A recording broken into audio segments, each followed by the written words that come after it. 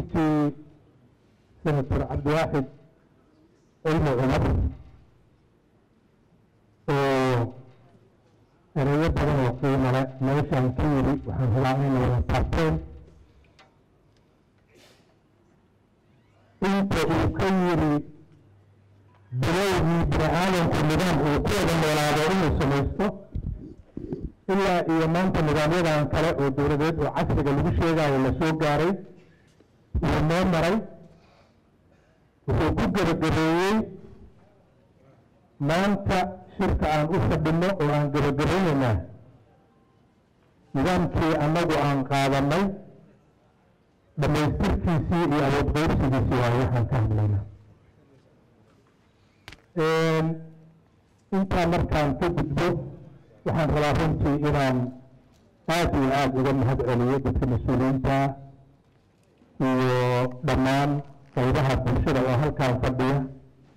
Sida shirkan ay u soo nuuriyeen oo ay u camireen iyo presentationada ay farsamo yaqaanadu hadda loo soo jeedinayeen siday uga qayb qaateen oo qodobo la yaqaano oo muuqda ay uga sameeyeen. Sidaan shirka furitaankiisii daraad idiin sheegay waxaan rabnaa inaan ballaarino wadatashiga ku saabsan mawduucan isaga ah oo aan saddexda beri u fadhino talada hadda maanta meeshaan laga akriyo shirkaan ka soo baxday oo talooyin kale lagu daray oo kuwo kale lagu daray oo laysu rafaayigareeyey oo laysu hagaajiyey ayaan ku soo dhammayn doonaa insha allah. Sidii daraad aan idiin sheegayna markaa kadib la marsiiyo golayaasha wasiirada iyo iyo baarlamaanka labadoodaba ilaa iyo madaxda qaranka lala aado si ay sharci u noqoto oo dastuurka ku-meelgaarkaa oo ereyadiisu isticmaalay senatarkuye hadda laga shaqaynayo in meeshaan ay ka soo baxdo qodobo lagu daro oo la yidhaahdo awooduhu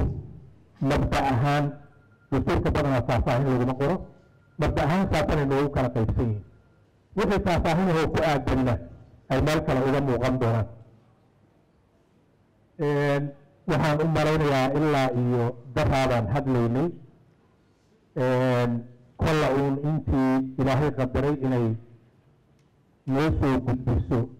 fikradahooda iyo aaracda ay ka qabaan mawduuca aan ka hadlayno. Oo runtii aad iyo aada u cusleeyey senatarku hadda waa soo marnay waxaana u malaynaa waa kala faa'iidaysanay anugu hadda waxaan u istaagay inaan hortiina si ixtiraam iyo xurmo leh mar labaad idinka mahad celiyo contributionka. Aad ku samayseen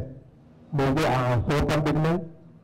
Waa asteynta awoodaha heerarka dowladda. Kuna dhawaaqo in shirkii loo dhammaaday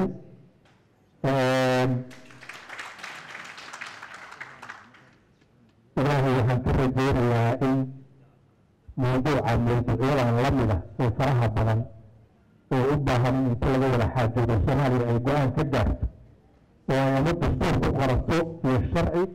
ama siyaasad ay ku qorato in dhinacooda wanaagsan oo waddankaan anfici kara ilaahay naga waafajiyo. Aad iyo aad aad iyo aada u wada mahadsan tihiin madaxda qaranka oo ka soo qayb gashay maalmihii la soo dhaafay ilaa iyo maanta dhammaan qaybaha bulshada meesha fadhiya walaalayaal waa mahadsan tihiin shirkina waa noo xiraya